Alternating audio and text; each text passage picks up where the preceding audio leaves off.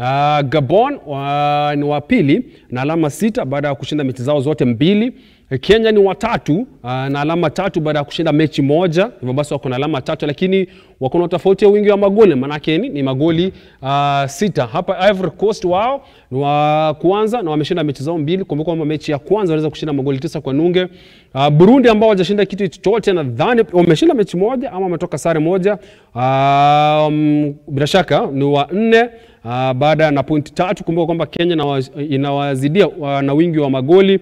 Gambia hawa wajashinda ni wa tano, alafu Seychelles ni wa sita. Sasa Kenya itakuwa inapiga dhidi ya Burundi hapa nikisia niki- niki- dhidi ya Burundi kwenye mechi ya pili ya kufuzu, alafu sasa mechi kali itakuwa ni kati ya Ivory Coast na Gabon. Mshindi hapa na nafuzu tu nambari moja anapata tiketi ya kufuzu moja kwa moja. Kumbuka kwamba kila mmoja akiwa nambari moja anapata tiketi moja kwa moja, lakini kuanzia nambari ya pili utakuanzia zile continental.